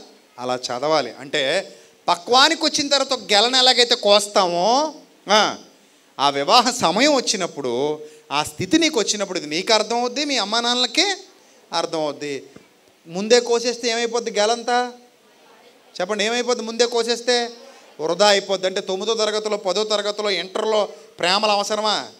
అది ప్రేమించే వయసు అది. మరి ఎవరన్నా ప్రేమిస్తున్నారా ప్రస్తుతానికి లేదా? ప్రేమించే వాళ్ళు చేతులు ఎత్తండి ఎవరెత్తరు? ఎందుకంటే ఇప్పుడు చెయ్యెత్తారు అనుకోండి వాళ్ళ అమ్మ నాన్న అక్కడ నుంచి చూసేస్తారు. చూసి ఇంటికి వెళ్ళాక రేవెట్టేస్తారు మామూలుగా ఉండదు. రేవే. అందుకని అబ్బాబే అస్సలా. అంటారు వీళ్ళు ఆ- ఆడపిల్లలంతే మగపిల్లలంతే. కానీ గుర్తుపెట్టుకోండి మీరేం చేతులు ఎత్తక్కర్లేదు కానీ సరదాగా అన్నాను కానీ ఇది ప్రేమించే వయసు కాదమ్మా. ఇది పెళ్ళాడే వయసు కాదు. చదువుకునే వయసు ఇది మీ కాళ్ళ మీద మీరు నిలబడాలి. అందుకే అంటున్నాను పక్వానికి రాకుండా అరటిగెల కోసేయకూడదు. వెన్నులు బయటికి రాకుండా ఒరిచేను ఒరిచేను కొయ్యకూడదు. కోసేస్తే ఏమైపోద్ది? మూడో నెలలో కోసామనుకోండి వరిచేను ఏమైపోద్ది చెప్పండి అమ్మా ఎందుకు పనికి రాకుండా అయిపోతుందా? గేదెలు తినడానికి కూడా పనికిరాదు. ఆ గింజలు ఎందుకు ఇంకా ఇంకా ఆ గింజలు ఇంకా ఏమవ్వవు లోపల బియ్యం గింజ ఏమవుతుంది ఇంకా? తయారవదు తోడుకోదు. అంతే కదా? అప్పుడు కోయకూడదు. అర్థమైందా? అలా ప్రతిదానికి ఒక సమయం ఉంటుంది. పెరిగానని తినాలి. తోడు చుక్కేసిన అరగంటకి తినేగలబెట్టి మరి ఎప్పుడు తినగలవు? పొద్దున దాకా వెయిట్ చేయి. పొద్దున దాకా వెయిట్ చేయి. కడుపులో పెట్టబడింది. ఏమంటే ఆరు నెలలు ఆపరేషన్ చేసి డాక్టర్ గారు మాకు పిల్లోడు అర్జెంటుగా కావాలంటే ఏమంటే డాక్టర్ గారు? నీకు పిల్లోడు ఇవ్వడమ్మా ఆరు నెలల్లో తీసేస్తే పిల్లోడు ఉండడమ్మా శవం ఉంటుంది అంటాడు పనికిరాదమ్మా తీసినా ఏమవుదో పనికిరాదంటే కాదండి లోపల తిరుగుతున్నాడండి కాలుతో తంతున్నాడు. ఈసారి కోసి తీసేయండి పర్లేదండి అన్నావు అనుకో. అమ్మ ఆడు తంతాడు. తన్నినా ఇప్పుడు తీయకూడదమ్మా ఇది కరెక్ట్ టైము. కాదమ్మా మరి ఎన్నాళ్ళు ఆగాలి? తొమ్మిది నెలలు ఆగాలమ్మా అంటాడు. తొమ్మిది నెలలు ఆగితే తప్ప బయటికి తీయకూడదు. అలాగే నీకు కూడా ఇప్పుడు ప్రేమలో గో దోమలో అవసరం లేవు. మరి ఏం అవసరం నీకు ఇప్పుడు? చెప్పు మీరు ప్రేమించే వయసు మీది? పెళ్ళాడే వయసు మీది? సిగ్గులేదు? ఏ వయసు మీది? చదువుకోవాలి మీ కాళ్ళ మీద మీరు? నిలబడాలి. అది అబ్బాయిలకి అదే సూత్రం అమ్మాయిలకి అదే సూత్రం. గాలి గాలి తిరుగుతుంటారు వెనకాల తిరగనివ్వండి వాళ్ళని కుక్క తిరుగుతుంది అనుకోండి. అర్థమైందా? అంతే తప్ప ఆ గాలి గాలి కోసం ఇంట్లో ఉన్న అమ్మ బంగారం నాన్న డబ్బులు పట్టుకెళ్ళిపోయి ట్రైన్ ఎక్కేద్దాం అనుకుంటే ఏ ముంబై తీసుకెళ్ళి అమ్మేస్తాడు? దరిద్రం వదిలిపోద్ది. ఆ తర్వాత వెనక్కి రాలేవు ముందుకు పోలేవు. నీకు అమ్మా నాన్న దగ్గర ఉన్నంత సెక్యూరిటీ బయట గెద్దల దగ్గర ఉండదు. కోడిపిల్ల ఎప్పుడు తల్లి రెక్కల నీళ్ళలో ఉంటేనే సెక్యూర్గా ఉంటుంది. గెద్ద దగ్గరికి వెళ్ళిపోతే అది ఏం చేద్ది? పొడుచుకుని తినేద్ది. మీ జీవితం కూడా అలాగ అయిపోద్ది. జాగ్రత్త. అర్థమైందా? రైట్ ఇప్పుడు మన జీవితంలో ఒక భాగస్వామి కావాలి అనుకున్నప్పుడు ఆ భాగస్వామి మనల్ని తయారు చేసుకోవట్లా. మనం అందంగా ఉన్నప్పుడే ఏం చేస్తున్నాడు? చేసుకుంటున్నాడు. మనం ఆరోగ్యంగా ఉన్నప్పుడు ఏం చేస్తున్నాడు? చేసుకుంటున్నాడు. మీరు ఒంటి నిండా మసిరాసుకు బొగ్గుల తయారై తిరిగితే ఎవ్వడు మిమ్మల్ని ప్రేమించడు. అర్థమైందా? అలాగే చెయ్యి ఎలా తిరిగిపోయి కాలు ఎలా తిరిగిపోయి మూత ఆ పక్క పోయింది అనుకోండి అమ్మాయి ఇటు పట్టుకొస్తాడు పువ్వు? పట్టుకొస్తాడా? ఓ నాకు పిల్లదు బాబు అంటాడు. ఎందుకు వద్దు పిల్ల? ఆ? ఎందుకు పిల్ల? అంటే మాకు వద్దండి జ్ఞానం బుర్రటండి. పళ్ళు బయటకు వచ్చున్నాయండి చెయ్యి వంకర తిరిగిపోయిందండి. కాలు వంకర తిరిగిపోయిందండి. అందుకే కదా ఇదివరకు పెళ్ళి చూపుల్లో అమ్మా నడిచి చూపించమ్మా. ఎందుకు నడిచి చూపించాలి? ఇంట్లో పని చేయడానికి పనికి పనికొద్దా రాదా అని పనికి మాలినోళ్ళు. మరి అంతే నడిచి చూపించు వంటొచ్చా పెంటొచ్చా? ఇవన్నీ ఎందుకు అనుకుంటున్నారు? పని చేయడానికి పనికి వస్తారా అది. అంటే పని చేయడానికి పనికి రాకపోతే వీళ్ళకి పెళ్ళికి అవసరం లేదు. ఇలాంటి స్ట్రాటజీలు ఉండేవి. అన్నిటిని బట్టి మీకు చెప్తున్నాను. మనం బాగుంటేనే ప్రేమిస్తున్నారు బాగుంటేనే ఏం చేసుకుంటున్నారు? పెళ్ళి చేసుకుంటున్నారు. మనం అప్పటికే నీట్గా రెడీ అయి ఉంటే ఆడొచ్చి తాళి కడతాడు. కానీ యేసుప్రభు అలా కాదు. నిన్ను రెడీ చేసుకుని తాళి కట్టాలనుకుంటున్నాడు. అందుకే వధువు సంఘము వరుడు వధువు సంఘము. నిన్ను తానే రెడీ చేసుకోవాలనుకుంటున్నాడు. నిన్ను తానే శుద్ధీకరించాలనుకుంటున్నాడు. నిన్ను తానే అందంగా అలంకరించాలనుకుంటున్నాడు సంగమా. నిన్ను ఎలా చూడాలనుకుంటున్నాడంటే ప్రభు కళంకము లేనిదిగా ముడత లేనిదిగా అట్టిది మరి ఏదైనను? లేనిదిగా పరిశుద్ధమైనదిగా నిర్దోషమైనదిగా నిష్కళంకమైనదిగా మహిమగలదానిగా ఆయన ఎదుటను ఒక రోజు నిలబడాలి. అందుకే నీకు ఇక్కడ తర్పీది ఏర్పాటు చేశాడు శిక్షణ. ఇక్కడ ఎందుకు వచ్చాం మనం సంఘానికి? ఎందుకు వచ్చాం? శిక్షణ. దేనితో శిక్షణ? ఎస్. ఏమండి? మనం ప్రతిరోజు స్నానం చేస్తాం. చేయకపోతే మన పక్కన ఎవడు కూర్చోలేడు. ఎండాకాలం అసలు కూర్చోలేడు. ఎందుకంటే మానవ శరీరం అంటేనే కంపు. శుభ్రం చేసుకోకపోతే శరీరం నిండా ఏమొస్తుంది? దుర్వాసన వస్తుంది. అందుకే మనం ప్రతిరోజు ఉదయం రాత్రి కూడా ఏం చేయాలి? స్నానం చేయాలి. ఉదయం సాయంత్రం కూడా స్నానం చేయాలి. మంచి అలవాట్లు అవి. ఏమండి? కొంతమందికి మరి నీళ్ళు ఖర్చు అయిపోతాయి అనుకుంటారు సబ్బు ఖర్చు అయిపోతుంది అనుకుంటారు రెండు రోజులకు మూడు రోజులకు చేస్తాడు స్నానాలు. ఇంకా అలాంటి వాళ్ళ దగ్గర మనం ఉండలేం. నమస్కారం బాబు ఎలక్ చచ్చిన కొంపోతుంది దూరంగా ఉండరు బాబు అంటాం. కదా? సో దేవుడు కూడా వాక్యం అనే సబ్బుతో ఏం చేయాలి? మన ఆత్మను ప్రతిరోజు ఏం చేయాలి? కడుక్కోవాలి. ఈరోజు కూడా ఇక్కడ సభ జరుగుతోందంటే వాక్యం అనే సబ్బుతో మీ హృదయాలను దేవుడు కడుగుతున్నాడు ప్రేమైన దేవుని సంగమ. వారం వారం మీ అయ్యగారు మీకు వాక్యం బోధిస్తుంటారు. ఆ వాక్యం అనే సబ్బుతో మీ హృదయాలు ఏం చేయాలి? శుద్ధి శుద్ధి శుద్ధి జరగాలి. ప్రతిరోజు కడగాలి. ఎందుకంటే ఒక్కొక్క ఒక్కొక్క మురికి అంత తొందరగా పోదు. ఒక్కొక్క మరక అంత తొందరగా పోదు. ఎక్కువ ఉతకాల్సి వస్తుంది. ఒక్కోసారి బండకేసి కొట్టాల్సి వస్తుంది. ఒకసారి మిషన్లో వేసేయాల్సి వస్తుంది. ఒకసారి కొంచెం డిటర్జెంట్ ఎక్కువ వేయాల్సి వస్తుంది. అలాగే కొంతమందిని ఖండించుము గద్దించుము బుద్ధి చెప్పుము ఒక్కోసారి స్పెషల్ ట్రీట్మెంట్ ఇవ్వాలి. ఇప్పుడు డాక్టర్ల దగ్గరికి వెళ్ళినప్పుడు అలా బిళ్ళలు ఇస్తారేటి ప్రతిసారి ట్యాబ్లెట్లు ఇస్తారా? మరి ఒక్కోసారి ఏం చేస్తారు? పొడుస్తారు నొప్పి వచ్చినా సరే. ఒక్కోసారి ఏం చేస్తారు? కోసేస్తారు. ఒక్కోసారేమో ట్యాబ్లెట్తో పోవాలి. ఒకసారేమో ఇంజక్షన్ దాకా వెళ్ళాలి. ఒక్కోసారేమో ఆపరేషన్కి కూడా వెళ్ళాలి. అలాగే ఖండించుము గద్దించుము బుద్ధి చెప్పుము అంటే సబ్బు పవర్ పెంచుతాడనమాట వాక్యం పవర్ పెంచుతాడు. ఆ వాక్యంతో బాగా ఉదక స్నానము చేత ఆ కడిగి కడిగి కడిగి మనలో ఉన్న మస్టు తీసేయాలి మనలో ఉన్న కుళ్ళు తీసేయాలి. మనం వరుడు మనల్ని ఎదుర్కోవడానికి వచ్చే సమయానికి ఇంత అందంగా మనం అలంకరింపబడి ఉండాలి. అందుకే మనల్ని అందరినీ తీసుకొచ్చి ఎక్కడ కూర్చోబెట్టాడట. సంఘములో కూర్చోబెట్టాడట సంఘం ఆయనకి అలా కావాలట. అందుకే మనల్ని ప్రేమించాడు. మనల్ని ప్రేమించి ఇష్టపడి ఇక్కడ దాకా తీసుకొచ్చి మనల్ని ఆయనే శుద్ధీకరించుకుని ఆయనే మనల్ని రెడీ చేసుకొని ఆయనే మనల్ని వాక్యంతో శుద్ధీకరించి శుద్ధి చేసి ఏం చదవండి చివరి మాట? పూర్తిగా చదువు. వాక్యముతో ఉదక స్నానము చేత దానిని పవిత్రపరిచి. పరిశుద్ధపరచుటకై. దాని కొరకు తను తాను అప్పగించుకొనెను. అటువలనే. పురుషులు కూడా. తమ సొంత శరీరము వలె. తమ భార్యలను ప్రేమింపబద్దులై ఉన్నారు. తన భార్యను ప్రేమించువాడు. తన్ను ప్రేమించుకొనుచున్నాడు. తన శరీరమును ద్వేషించు తన శరీరమును ద్వేషించిన వాడెవ్వడూ లేడు లేడు కానీ కానీ ప్రతి వాడును ప్రతివాడు దానిని పోషించి సంరక్షించును. మనము క్రీస్తు శరీరమునకు అవయవములమై ఉన్నాము. అలా అలాగే క్రీస్తు కూడా సంఘమును పోషించి సంరక్షిస్తున్నాడు. దేంతో పోషిస్తున్నాడు సంఘాన్ని? మీ భర్త మిమ్మల్ని దేంతో పోషిస్తున్నాడు చెప్పండి? అంతేనా? అదేనా పోషణ అంటే? క్రీస్తు పోషించేది ఈ బువ్వతో కాదు. మరి ఏ బువ్వతో?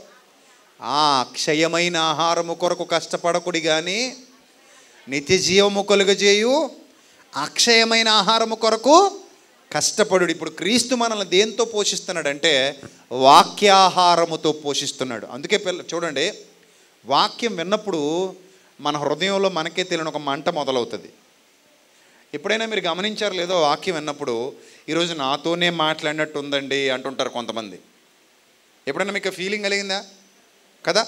ఈరోజు పాస్టర్ గారు వాక్యం చెప్పారండి నాతోనే మాట్లాడినట్టుందండి నన్నే ఖండించినట్టుందండి నన్నే గద్దించినట్టుందండి నాకే బుద్ధి చెప్పినట్టుందండి. అసలు నా నేను ఎవరో కూడా ఆయనకి తెలియదండి కానీ నాతోనే మాట్లాడినట్టుంది. ఇప్పుడు మీరు తెలిస్తే మీ గురించి మాట్లాడడం వేరు.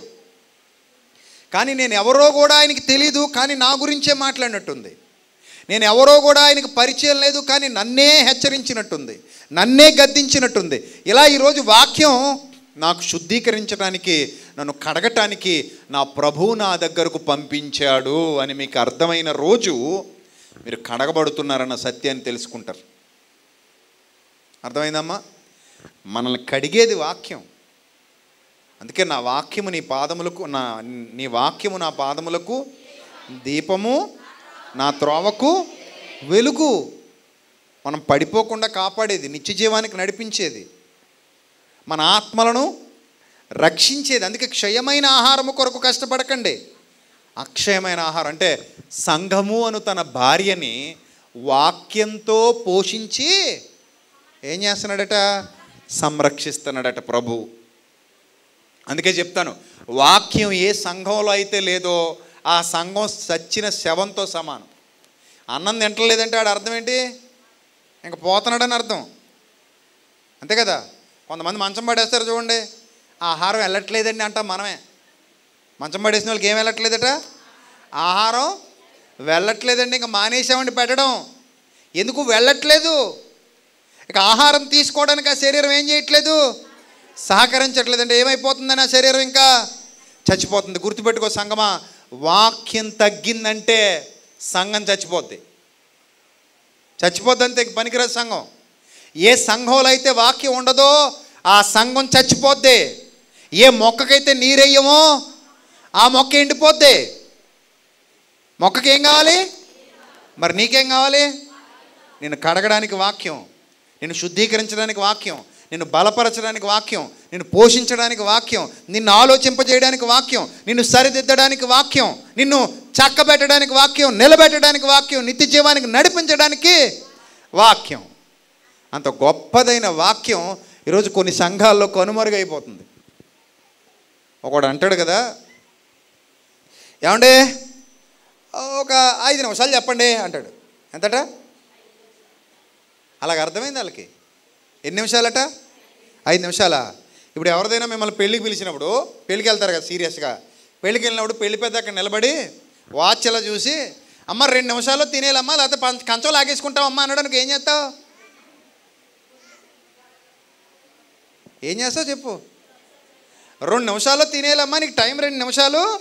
రెండో నిమిషం దాటిందంటే మాత్రం చేతిలో కంచం లాగేసుకుంటావమ్మా అన్నాడట పెళ్ళికి పిలిచినాడు. వాడు తింటావా? తినవు కదా? ఇప్పుడు నాకు తెలియక అడుగుతాను.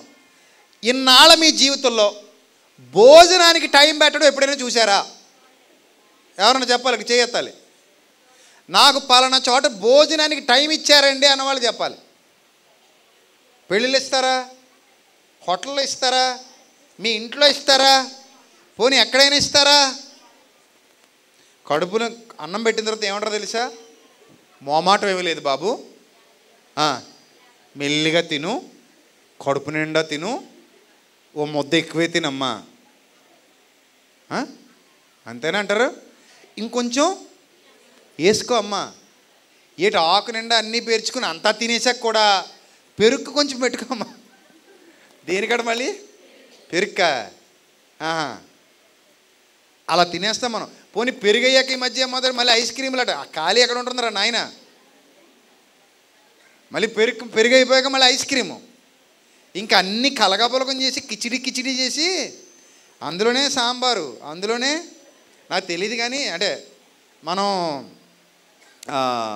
పొట్టలో పొట్టలోది కనబడదు కానీ మామూలుగా పొట్టలోది బయటకు చూస్తే ఎలా ఉంటుంది తెలుసా? డస్ట్బిన్ గిన్నె ఉంటుంది కదా. అలా ఉంటుంది నిజమే మరి. అన్నీ అందులోనే పోస్తాం కదా డస్ట్బిన్లో కొంచెం సాంబారు కొంచెం పెరుగు కొంచెం కూర ఓ స్వీటు ఓ చట్నీ అన్నం పలావు చికెను. ఇంకేమైనా ఉంటే అందులో వేసాయి. అన్నీ వేసిన తర్వాత గిరగిర్ర తిప్పి చూడు. అలా ఉంటుంది లోపల. మళ్ళీ లాస్ట్లో ఐస్ క్రీము ఓ కిళ్ళి అంత చెత్త వేసేసావు డబ్బాలో. ఈ డబ్బాలో. లోపలికి నిజంగా ఏ ఏ ఏదోటి కెమెరా పెట్టి చూస్తే బాబు ఇది డస్ట్బిన్లో ఉందేంటి కడుపులో లేదనిపిస్తుంది. అలా తినేస్తాం. ఎప్పుడు టైం పెట్టం. దేనికి టై తిండికి అవ్వడు టైం పెట్టడు. అన్నదానం దగ్గర కానీ పెళ్ళిళ్ళలో కానీ హోటళ్ళల్లో కానీ ఫంక్షన్స్లో కానీ ఇళ్ళల్లో కానీ తిండి అనగానే ఎవ్వడు కూడా తిండికి ఏం పెట్టడు? టైం పెట్టడు కానీ వాక్యానికి ఏం పెడతాడు? టైం పెడతాడు. అంటే మాకు ఎక్కువ భోజనం సెట్ అవ్వదండి. మాకేం కావాలండి భోజనం? ప్లేట్ మీల్స్ కావాలి మాకు. ఏ మీల్స్? Plate meals. మన ఎవడో యూట్యూబ్లో నా ప్రసంగం కింద కామెంట్ పెట్టాడు. ఏమనంటే సార్ ఈ మెసేజ్ వినాలని ఉంది కానీ కొంచెం షార్ట్ చేయడానికి అవదా? అని అడుగుతున్నాడు. ఏం చేయడానికి కావాలా షార్ట్ చేయాలట. షార్ట్ చేస్తే వింటావు అనమాట నువ్వు. అంటే కట్టే కొట్టే తెచ్చే. అయిపోయింది వెళ్ళిపో అనాలి. భోజనం కూడా ఎలా పెట్టాలి? ఇంత వేసి అన్నం అన్నం వేస్తాం కూర ఇలా తీసి ఇలా రాయాలి? ఆ అన్నం మీద కూర వేస్తాం ఇది ఒక పెరుగు ఇంత. పెరుగు వేస్తాం అయిపోయింది భోజనం వెళ్ళిపో అనాలి. ఇదేం భోజనం అండి బాబు? మొత్తం చూడితే ముద్ద కూడా అవ్వలేదు అంటాడు కానీ వాక్యం దగ్గర అలా కాదే. ఆల్రెడీ నలుగురు ఐదుగురు లేచి వెళ్ళిపోయారు ఇందాక. మీ వాళ్ళే నేనేం అనలేదు ఇంకెందుకులే పోండా అని. నేను ఎవరిని బతిమలాడను. పోయేవాళ్ళు పోండి అంటాను మంచిదే. ఎప్పుడు పోయినా నాకు నాకు ఇబ్బంది లేదు. నాకు ఇద్దరున్నా ఒకటే. అందుకే అంటాడు చూడు తలుకు బిలుకురాళ్ళు నిక్కమైన మంచినీళ్ళ మొక్కటి చాలు. నిక్కమైన మంచినీళ్ళ మొక్కటి చాలు. తలుకు బెలుకురాళ్ళు తట్టిడేలా అంటాడు. తట్ట నిండా రాళ్ళు ఉంటే ఎవరికి ఉపయోగం మంచి వజ్రం ఒకటి ఉంటే చాలా అన్నట్టు ఇక్కడ మీరు వంద మంది ఉన్నా వెయ్యి మంది ఉన్నా నిద్రపోయేవాళ్ళు ఈశ్వర మాదేవుడని ఎప్పుడు పంపుతావురా నాయన అనుకునేవాళ్ళు. అసలే తినేచోడు కూర్చున్న నిద్రలు వచ్చేస్తున్నారా నాయన అని ఊగేవాళ్ళు. ఇలాంటి వాళ్ళు ఉన్నా ఒకటే పోయినా ఒకటే. మీ గొడవ ఏం లేదు. ఆల్రెడీ చాలామంది నిద్రపోయి ఉంటారు నాకు తెలిసి పీకల్లా తినేసి. అంతే కదా భోజనం పెట్టి వచ్చి మరి కూర్చోబెట్టారు అక్కడ. ప్రేమ వింది అంటున్నారు మీ పాస్టర్ గారు. శుభ్ర శుభ్రం తినేసి నిద్ర ఉంటారు మీరు. అందుకే చాలామంది పాస్టర్లో నిద్రపోయే వాళ్ళందరూ అల్లు చెప్పండి అంటారు. నేనేమంటానంటే నిద్ర వచ్చే వాళ్ళందరూ ఇంటికి వెళ్ళిపోయి పడుకోండి అంటాను మీ అల్లెలు వీలు మాకు వద్దు మీరు అసలు ఇక్కడ వద్దు. నేనేమంటానంటే వాక్యం దగ్గరికి వచ్చేసరికి టైం పెడతారు. భోజనం దగ్గరికి వచ్చేసరికి మాత్రం ఏముండదు? టైం ఉండదు. ఎంత అయినా తినొచ్చట. ఎందుకంటే ఈ బస్తా కూడా ఉబ్బుతుంది ఇతలే కుదించి కుదించి కుదించి బస్తా అలా పొంగిపోవాలన్నమాట.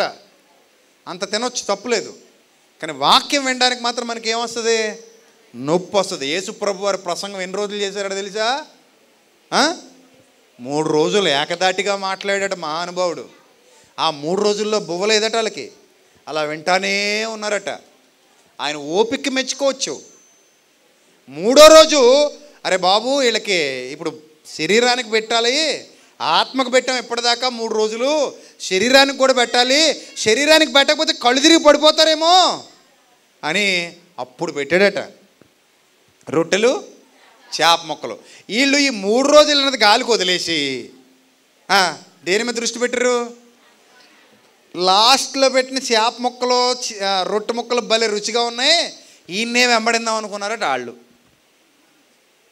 దేన్ని వదిలేశారు? ఈ మూడు రోజులు ఆత్మకు పెట్టిన ఆహారాన్ని గాలికి వదిలేశారు. దేని మీద దృష్టి పెట్టారు? మనం కూడా చూడండి. మొన్న ఒక ఆయన సభలు భలే జరిగినాయి అన్నాడు. ఏ అంటే లాస్ట్ రోజు పలా ఉందండి అయ్యగారు అంటున్నాడు దౌర్భాగ్యుడు. భలే కుదిరిందండి ముక్కలు అవి భలేగా ఉన్నాయండి అంటున్నాడు. అంటే ఈ సభలు భలే జరిగినాయి అంటే ఆడు ఆడు ఉద్దేశంలో ఏంటనుకుంటున్నారు? బిర్యానీ బాగా కుదిరిందని. వచ్చినోడు చక్కగా వాక్యం చెప్పాడని కాదు. మూడు రోజులు వాక్యం నేర్చుకున్నామని కాదు. మరి ఏంటి? బాగా అర్థమైంది ఆడికి? మూడో రోజు అండి బిర్యానీ అదిరిపోయిందండి. భలే కుదిరిందండి మూడు రోజులను రెండో రోజు ఏమో బంగాళదుంప కూర అయ్యలెట్టండి బాబు. మొదటి రోజు వంకాయ చాలా బాగుందండి అంటున్నాడు. అందుకే అన్నాడు వారు వారి కడుపునకే దాసులు వారి కడుపే వారి దేవుడు.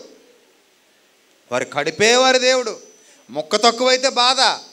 కానీ వాక్యం తక్కువైతే మనకేముండదు? బాధ ఉండదు నాతో మాట్లాడు ప్రభు అని అడిగే వాళ్ళు తగ్గిపోయారు. నాకు పెట్టు ప్రభు అనేవాళ్ళు ఎక్కువైపోయారు. అందరూ డబ్బులు వేసుకుందాం. ఈ సంవత్సరం మేకను కోసేయాలంటాడు ఒకడు. నేను కోసేయాలి దౌర్భాగ్యుడే. నేను కోసేస్తే దరిద్రం వదిలిపోద్ది. ఈ సంవత్సరం మేకను కోసేయాలి ఈ సంవత్సరం ఎద్దును కోసేయాలి ఈ సంవత్సరం కోణు కోసేయాలి ఇంక అంతే తప్ప ఈ సంవత్సరం మంచిగా ఎక్కువ వాక్యం వినాలి అని అనుకునే వాళ్ళు ఏమైపోయారు? తగ్గిపోయారు. తగ్గిపోయారు. ప్రతి సంవత్సరం సంక్రాంతి సెలవుల్లో ఐదు రోజులు సెమినార్లు పెడతాం బలభద్రపురంలో. ఐదు రోజులు జరుగుతాయి ఆరు రోజులు జరుగుతాయి సెమినార్లు. ఉదయం తొమ్మిది గంటల నుంచి రాత్రి పది గంటల వరకు వాక్యం వాక్యం వాక్యం వాక్యం. ఇంకేముండదు. క్లాసుల మీద క్లాసులు జరుగుతూనే ఉంటాయి జరుగుతూనే ఉంటాయి సంక్రాంతి పండుగల్లో. పొద్దున తొమ్మిది గంటలకు మొదలవుద్ది క్లాసు. ఏమంటే పొద్దున మూడు మధ్యాహ్నం ఓ రెండు సాయంత్రం ఓ రెండు రోజుకెంత? దాదాపు ఏడు పాఠాలు. చెప్పింది చెప్పకుండా ఏడు పాఠాలు ఉంటాయి. ఆ తర్వాత కూడా మళ్ళీ డిస్కషన్స్ చేసుకుంటారు అందరూ కూర్చొని. పన్నెండు అయిపోద్ది పడుకునేసరికి. మళ్ళీ పొద్దునే లెగ్గొట్టేస్తాం. పొద్దునే లెగ్గొడిస్తే తెల్లవారుజాము ఆరాధన ఉంటుంది. మళ్ళీ అప్పుడు కూడా వాక్యమే. ఒక అరగంట ఉంటుంది. ఆ తర్వాత స్నానాలు టిఫిన్లు. మళ్ళీ తొమ్మిది గంటలకు మొదలైపోద్ది. ఆ ఆరు రోజులు వాక్యంలో ముంచి తీసేసినట్టు ఉంటారు అందరూ. ఆరో రోజు రాత్రికి ఇంటికి వెళ్ళాలంటే ఏడుస్తూ వెళ్తారు. అది మా సెమినార్లు జరిగే విధానం. అంతే తప్ప గోల గొడవ అలరి సమయం వేస్ట్ చేయటం ఇలాంటివి ఉండవు. ఎందుకంటే వాక్యానికి ఇచ్చే ప్రాధాన్యత అంత గొప్పది ప్రియమైన దేవుని సంగమ. ఎందుకు వాక్యానికి అంత ప్రాధాన్యత అంటే అసలు వాక్యమే లేకపోతే మన బ్రతికెందుకు? పనికిరాదండి. ఆత్మీయంగా మనం ఎదగాలంటే ఆహారం కావాలి. అందుకే దానికి అక్షయ ఆహారము అని పేరు పెట్టాడు ప్రభు. క్షయమైన ఆహారము కొరకు కష్టపడకూడదు కానీ నిత్య జీవము కలుగజేయు. అక్షయమైన ఆహారము కొరకు మీరందరూ ఏమవ్వాలన్నాడు? కష్టపడాలన్నాడు. కానీ కష్టపడ్డం మాట పక్కనట్టండి. వినడానికి ఇష్టపడే వాళ్ళ సంఖ్య తగ్గిపోతుంది. అర్థమైందా? వినడానికి ఇష్టపడే వాళ్ళ సంఖ్య కూడా ఏమైపోతుంది? తగ్గిపోతుంది. కాబట్టి నేను కూడా మీ మొఖాలు చూసి జాలేస్తుంది ఇంక నిద్ర ఒకండి నేను కూడా ముగింపుకి వెళ్తున్నాను. ఇప్పటికే చాలా సమయం అయినట్టుగా ఉంది. ఎంత అయింది? పదకొండు అయిపోయింది. ఇంకా సేపు ఉంటే మీరు ఇక్కడే పక్కే చేస్తారు నాకు తెలుసు. విషయం ఏమిటంటే ప్రభు మనల్ని అందరినీ ఎలా సిద్ధపరుచుకోవాలనుకుని వాక్యాన్ని ఇచ్చాడు. సో ఆ వాక్యాన్ని మీరు స్వీకరిస్తేనే మీ అందం పెరుగుద్ది. ఏ అందం? అంతరంగ సౌందర్యం ఆత్మ సౌందర్యం పెరుగుద్ది. అప్పుడు ఎస్తేర్ని రాజు అంగీకరించినట్టు వరుడైన ప్రభువు వధువైన నిన్ను నన్ను ఏం చేస్తాడు? తీసుకెళ్ళిపోతాడు నిత్య జీవానికి ఈ భాష మీకు అర్థం కావాలి. ఒకవేళ వాక్యం పక్కన పెట్టేసి నీ ఆత్మీయ సౌందర్యాన్ని నువ్వు ఇనుమడింపజేసుకోకుండా వాక్యం వాక్యంలాగే ఉంటుంది. ఈ చెవితో ఉంటాం ఈ చెవితో ఏం చేస్తుంటాం? వదిలేస్తుంటాం. గాలికి వదిలేసి నా బతికేతో నేను బతుకుతా వస్తా కానీ వాక్యానికి మనసు ఇవ్వను హృదయం ఇవ్వను అని బతుకును బతికేస్తే ఆత్మీయ సౌందర్యం ఏమవదు డెవలప్ అవ్వదు. ఇప్పుడు పాండ్స్ పౌడర్ డబ్బా కొనుక్కుని సీల్ తీయకుండా ఇంట్లోనే పెట్టుకున్నాం అనుకోండి. డబ్బా జేబులో పెట్టి తిరిగితే తెల్లగా కనబడతావా? డబ్బా కొంచెం రాస్తే తెల్లకి కనబడతావా? మరి ముగ్గులకు కాదులే బొగ్గుల ముగ్గు రాసినట్టు కాకుండా ఏదో ఎంత పడితే అంత. రాస్తే కొంచెం ముఖం నునగా కనబడద్దా? లేకపోతే జేబులో పెట్టి తిరిగితే నునగా కనబడద్దా? అంతే కదా? ఇప్పుడు ఏ ఫెయిర్ అండ్ లవ్లీయో ఫెయిర్ ఎవరో క్రీమ్ కొన్నాం అనుకో కొంచెం ఏదో రాసావనుకుంటే అంతేనా? రాస్తేనన్నా కొంచెం ఫేస్లో గ్లో కనబడద్ది. రాయకుండా జేబులో పెట్టి తిరిగితే ఏమవుద్ది? చెప్పు గ్లో కనబడద్దా? సబ్బు కొనుక్కున్నాం రుద్దుకుంటేనే కదా ముఖానికి ఉన్న ఆ జిడ్డు పోయి కొంచెం నున్నగా కనబడతావు. జేబులో పెట్టి తిరిగితే సంతూర్ సబ్బు? మమ్మీ అంటారు రేటు నిన్ను ఎవరైనా? మీరు మమ్మీయా అనాలి మిమ్మల్ని చూసి? నువ్వు డాడీయా అనాలి. అలా చేయాలంటే ఏం చేయాలి? సొంతూరు సబ్బు రాయాలట. సొంతూరు సబ్బు రాస్తే మీ అమ్మగారిని మీ అమ్మగారు అనరట. మీ అక్క అని అడుగుతారట. మీ- మీ నాన్నగారిని మీ నాన్నగారు అనరట. ఏమంటారట? మీ అన్నయ్య అంటారట. ఏది ఏది? సొంతూరు సబ్బుకే సరే కాసేపు అదే నిజం అనుకుందాం. ఎందుకంటే జేబులో పెడి తిరిగితే అంటారా రాస్తే అంటారా? మరి వాక్యం వాక్యం హృదయంలోకి వెళ్తే నీకు అంతరంగ సౌందర్యం వస్తుందా? లేకపోతే ఇలా ఇలా ఇలా ఇలా పట్టు తిరిగితే సరిపోతా హృదయంలోకి వెళ్ళాలి. కొంతమంది చూడండి బైబిల్ తల దగ్గర పెట్టుకు పడుకుంటారట. ఎక్కడ? తల దగ్గర పెట్టి పడుకుంటేనట ఆది కాండ మొదలుకొని ప్రకటన గ్రంథం దాకా బుర్రలోకి అలా గర్రమని ఎక్కిపోద్దట పొద్దునకి వీళ్ళు పాస్టగారు అయిపోతారట. అంతేనా? ఇప్పుడు తల దగ్గర పెట్టు పడుకోమన్నాడా? తలంపుల్లోకి ఎక్కించుకోమన్నాడా ఇందులో ఉన్న సారాంశాన్ని? కదా తల దగ్గర పెట్టు పడుకోమని ఎక్కడైనా చెప్పాడా? చెప్పందేమో? కరెక్ట్గా పాటించేస్తున్నాం చెప్పిందేమో? గాలి కుదిలేసాం అంటే ఎలా మిమ్మల్ని దారి తెప్పించినోడు ఎవడై ఉంటాడు? అన్నీ తెలుసు మనకు. ఐదో తనం ఒకటే తక్కువ. ఎలా మనల్ని దారి తెప్పించినోడు ఎవడై ఉంటాడు? సాతాను అపవాది. తలంపులలోనికి వెళ్ళాలని దేవుడు అనుకున్నాడు. తలకని పెట్టుకుని పడుకో అని ఆడన్నాడు. ఎవడ మాట మనకు బాగా నచ్చింది? ఆడిదే బాగా నచ్చింది. వీళ్ళు ఏమంటారంటే ఇది తల దగ్గర పెట్టుకుంటే దెయ్యాలు రావటండి అని అని నేర్పించేసాడు ఎవడో. ఈ పెట్టుకుంటే దెయ్యాలు రావని బైబిల్ ఉందా? అని ఎవడో నేర్పించేశాడు గాలి మాట ఆయన అన్నాడు ఎవనిని మింగుదునా అని మీ విరోధి అయిన అపవాది గర్జించు సింహం వలె వెదకుచూ తిరుగులాడుచున్నాడు గనుక వాక్య ఖడ్గంతో వాడిని ఎదిరించాలి. ఇప్పుడు ఖడ్గం ఎక్కడ ఉండాలి లోపల ఉండాలి ఎందుకంటే వాడు లోపల దెబ్బ కొడతాడు. వాడు కొట్టే దెబ్బ ఎక్కడ కొడతాడు? లోపలే కొడతాడు కాబట్టి కటకం కూడా ఎక్కడ ఉండాలి? లోపలే ఉండాలి. అప్పుడు లోపల ఉండాలంటే వాక్యం హృదయంలోకి వెళ్ళాలా? తలగడగా పెట్టుకుని పడుకోవాలా? కదా? అది విషయం. కాబట్టి సబ్బుతో శుద్ధీకరించుకోండి. ప్రతిరోజు వాక్యం వినండి. బాగా నేర్చుకోండి. మీ పాస్టర్ గారు చెప్తున్నారా? లేకపోతే యూట్యూబ్లో నాలాంటి ప్రసంగికులు చెప్తున్నారా? ఎక్కడైనా సరే వినండి. కాకపోతే సత్యమో కాదో అర్థం చేసుకోండి. ఎందుకంటే అన్ని సత్యాలు కావు. ఈ కడవరి దినాల్లో అసత్యం కూడా ఏమవుతుంది? ఓ భయంకరం. భయంకరంగా వెళ్ళిపోతుంది అసత్యం కూడా. ఎంతమంది అబద్ధాలు బోధిస్తున్నారో వాళ్ళని చూస్తుంటే కోపం వచ్చేస్తుంటుంది ఒక్కోసారి. మొన్న ఒక ఆయన అంటాడు దేవుడు నాతో మాట్లాడుతున్నాడు నీ అకౌంట్లో వంద రూపాయలు అయిపోతున్నాడు అంటున్నాడు. నీ అకౌంట్ నెంబర్ ఆయనకి తెలిసిటి? ఏ అకౌంట్ ఇప్పుడు ఏ అకౌంట్ నుంచి చేస్తాడని డౌట్ వచ్చింది నాకు. ఇప్పుడు నా అకౌంట్లో వంద పడిందంటే మెసేజ్ వస్తుందా రాదా? ఏదో అకౌంట్ నుంచి పడిందనే కదా వస్తుంది. అంటే పరలోకలో స్పెషల్గా ఎస్బీఐ బ్యాంక్ ఉందేమో మరి. అక్కడ బ్రాంచ్ పెట్టినట్టున్నారు. పోనీ ఆ ఏసీది ఏమైనా కోటి రూపాయలు వేస్తాడంటే బాగుంది. ఎంతట వంద నీ బొంద. వంద వేస్తాడా? ఏం చేసుకోవాలి వందతో? అది కూడా ఆసక్తిగా వింటున్నారు ఎరుగొర్రెలు. నీ అకౌంట్లో కానీ పడిందాక చెక్ చేసుకోమంటున్నాడు మళ్ళీ. మొబైల్ చెక్ చేసుకోమంటున్నాడు. ఏమి లేదు ఆడే ఆడకూడదో వేపిస్తాడు ఆడొచ్చి వేదిక మీద వచ్చి నాకు పడిందని చెప్తాడు దానికి ఒక అరగంట తినేసాడు సమయం. ఇదా వాక్యం. ఇలాంటి వాళ్ళు తగలడ్డారు ఈరోజు క్రైస్తవ సమాజంలో మోసగాళ్ళు. సో కాబట్టి సత్యం వినండి సత్యంతో మీ హృదయాలని సిద్ధపరచుకోండి పెళ్ళి కూతురులా సిద్ధపడండి వధువు సంఘంగా సిద్ధపడండి సిద్ధపడ్డ కన్యకల వలె మీరందరూ ఉండాలి. ఈరోజు ఒక దైవ సేవకుడిగా మీ మధ్యలో నిలబడి మాట్లాడుతున్నాను. మీలో ఏ ఒక్కరూ నశించిపోవడం దేవుని చిత్తం? కాదు.